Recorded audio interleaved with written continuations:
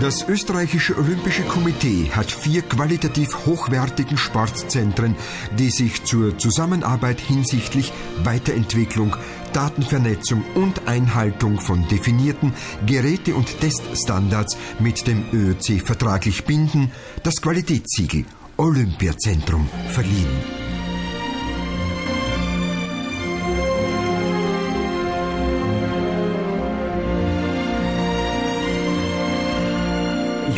Unglaublich äh, froh, dass es äh, diese Institutionen in Österreich gibt. Man kann natürlich darüber diskutieren, sollte man das eine oder andere auch noch zusätzlich machen. Äh, aber was wir heute haben, darauf kann man stolz sein. Und da ist ja die sportmedizinische äh, physische, psychische Betreuung ein ganz wichtiger Baustein zum gemeinsamen Erfolg. Der Erfolg muss immer noch durch die Athleten selbst erbracht werden, aber wir als Olympisches Komitee wollen gemeinsam eben mit diesen überregionalen Zentren die Grundvoraussetzungen für den künftigen Erfolg schaffen.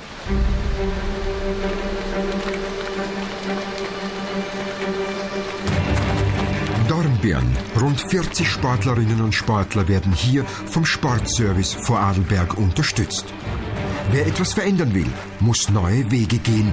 Nach diesem Motto wird hier in 13 olympischen und 6 nicht-olympischen Sportarten erfolgreich gearbeitet.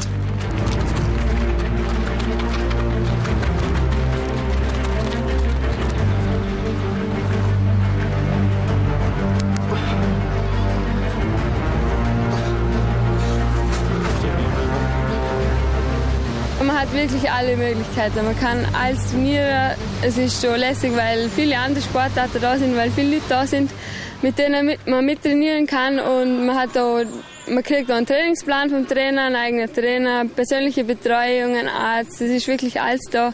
Physiotherapie, Masseur und von dem her, das schätze ich wirklich. Es wird spezifisch trainiert. Auf jeden Einzelnen wird einfach der Trainingsplan gemacht und es ist einfach was anderes. Es, ist schon, es sind viele Sportarten da und es ist eigentlich eine Gaude und, und Sport zugleich. Also es ist einfach für einen Sportler eine sehr große Abwechslung. Mit der Positionierung des Olympiazentrums in Dornbirn wurde eine neue Drehscheibe für den Vorarlberger Sport geschaffen. Sie ist eine kompetente Anlaufstelle sowohl für Sportler als auch für Funktionäre, die sich hohe und höchste Ziele setzen. Und diese sollen all along in olympischen Medaillen ihren Niederschlag finden.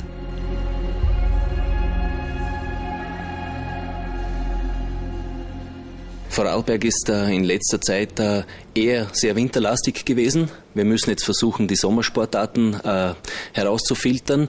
Für London werden vielleicht drei, vier Olympiastarter erwartet.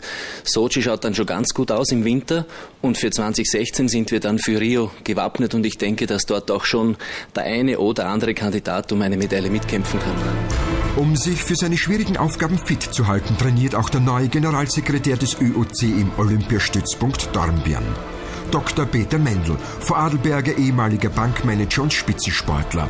Vor einigen Jahren stand er sogar auf dem Gipfel eines Achttausenders. Seit heuer führt er mit seinem Landsmann Dr. Karl Stoß die Seilschaft des österreichischen Olympischen Komitees in die Zukunft. Ich glaube, dass ich als aktiver Fallschirmsportler, der zwar nicht olympisch ist, aber als aktiver Fallschirmsportler Siege und Niederlagen ganz nahe erlebt habe dass ich auch die, die Wünsche und auch die Ängste und Befürchtungen der Sportler sehr gut kenne aus eigenen Erfahrungen heraus. Und ich glaube, dass wir hier im österreichischen Olympischen Komitee in Zukunft doch viel bewegen werden können. Salzburg-Rief, ein Olympiazentrum, das wegen seiner zentralen Lage in Österreich viele Medaillengewinner beherbergt Bedingungen da sind der Wahnsinn. Du hast einfach alles Mögliche, was du halt irgendwie brauchst, was ich vorher gar nicht gewusst habe, dass es gibt, dass man, dass man auf die und die Orten irgendwie trainieren kann und ja, und das ist halt einfach schon klasse, wenn es da mitten unter die ganzen äh, anderen Leistungssportler da irgendwie äh, huckst. Olympiasieger Wolfgang Leutzl und Slalomass Reinfried Herbst sind wie Thomas Geiersbicher ständige Gäste im Olympiastützpunkt. Medaillengewinner und Medaillenanwärter geben sich hier die Türklinke in die Hand und tauschen sich auch aus. Man hat natürlich immer so irgendwie ein bisschen im Hintergrund mitschwingen die Olympischen Spiele und natürlich dann auch die Medaillen. Und da ist, glaube ich, dann jeder umso mehr motiviert, dass er sich da im Training richtig ins Zeug hat, um dann vielleicht irgendwann einmal olympische Medaillen äh, zu gewinnen. Und äh, das macht das Ganze natürlich dann sehr wertvoll. Die Biathleten haben im Schießkeller des Instituts eine optimale Infrastruktur für sommerliches Trockentraining gefunden. Darüber hinaus sind 13 andere olympische und nicht-olympische Sportarten im Olympiazentrum verankert. Unser Ziel ist es, 30 Athleten hier zu betreuen, vielleicht auch etwas mehr noch und mit der fast Gewissheit zu haben, dass wir auch bis 10 Athleten in London oder spätestens 2016 in Rio an den Start bekommen. Die Kombination Sportwissenschaft und Trainingsumfeld ist in Salzburg optimal. Auf europaweit einzigartige Weise ist hier eine Universität in die Bedürfnisse eines Spitzensportinstituts eingebunden. Die Athleten haben alles äh, zur Verfügung, sowohl für die Diagnostik in allen Bereichen, die relevant sind, aber ganz besonders auch für das Training. So eine Art äh, Messplatztraining, wie das heute im internationalen Spitzensport üblich ist, steht jedem Athleten hier zur Verfügung. Wer hoch hinaus will, findet in Salzburg-Rief beste Voraussetzungen. Auf die Plätze! Nicht anders ist es in Linz. Auf der Google im Landessportzentrum Oberösterreich hat ein Großteil der österreichischen Spitzenschwimmer eine Trainingsheimat gefunden. Das Olympiazentrum Linz bietet die besten Voraussetzungen dafür, dass ich mein Ziel 2012 in London erreichen werde und kann und dort natürlich auch eine gute Platzierung erreichen kann. Es passt alles rundherum. Wir haben einen super Trainer, haben ein super Becken, haben super Bedienungen haben ein super Umfeld, haben immer Physiotherapie, alles, haben jetzt neue Startsockel bekommen, das neueste Modell, also wir sind top ausgestattet für 2012 für die Olympischen Spiele. Wir haben gleich im ersten Stock das Heeresleistungssportzentrum, das für uns Bundesheersportler natürlich hervorragend ist. Es ist einfach optimal.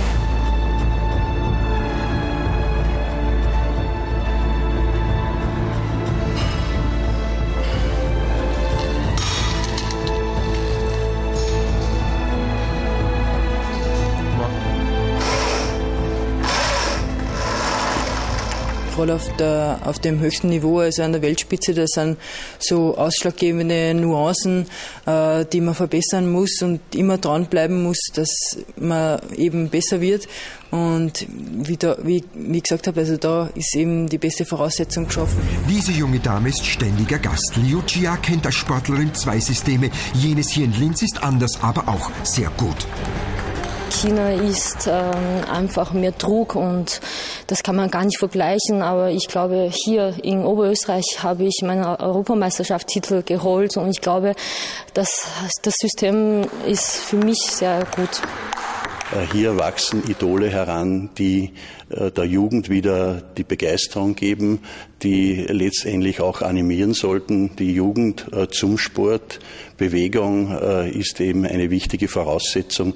Und Idole, das sind jene, die zu Olympischen Spielen fahren, die eben bei Olympia dabei sind und vielleicht auch die eine oder andere Medaille machen. Ivona Dadic ist eine dieser großen Hoffnungen. Das IMSB in der Südstadt ist das Olympiazentrum der ersten Stunde. Schon 1999 wurde es als solches ausgezeichnet. Das Institut für medizinische und sportwissenschaftliche Beratung hat seit 1982 eine umfassende Hilfestellung für den österreichischen Sport aufgebaut und entwickelt seine Komplexität permanent weiter.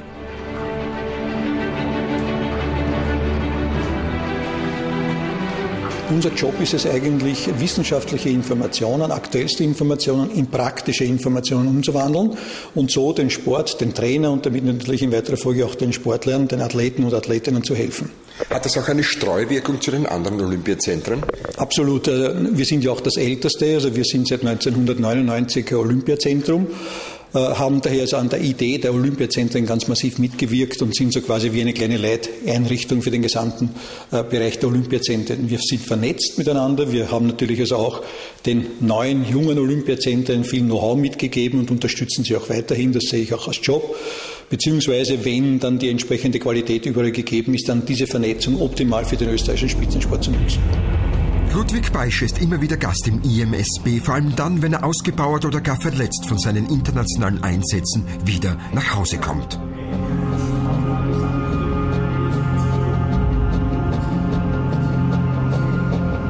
Ja, es ist einfach ein bisschen äh, sozusagen eine Sicherheit gibt es dem äh, Sportler. Man ist oft im Ausland unterwegs, da ist man auf sich alleine gestellt und man kommt einfach zurück mit ein paar Bewegchen und Kleinigkeiten, die nicht ganz so optimal laufen und es wird analysiert, äh, behandelt und dann schaut man, dass man wieder optimal trainieren kann. Medizin und Physiotherapie sind aus dem Sport nicht wegzudenken. Nur höchstes Niveau ist für Österreichs Athleten gut genug. Das gilt auch für technische Hilfsmittel wie diese Hypoxiekammer.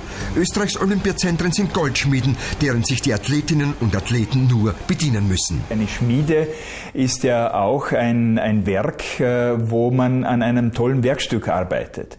Und wenn man an einer Medaillenschmiede, dann arbeitet man an künftigen Medaillen. So interpretiere ich diesen Ausdruck. Und ich glaube, das passt genau zu den Olympiazentren.